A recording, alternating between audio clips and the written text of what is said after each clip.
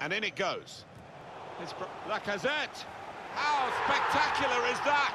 Well, you have to get the timing absolutely perfect to take that on. And boy, didn't he pull it off. Brilliant athleticism and a wonderful finish. It takes a bit of bottle to take that on. He showed plenty. A goal that's been put away in prime fashion. Well, it was a, a beautifully struck corner and the finish was deadly. Well, let's take another look at the goal.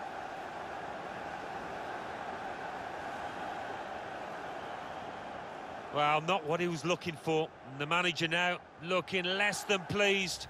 Somebody's going to pay for that uh, goal they've just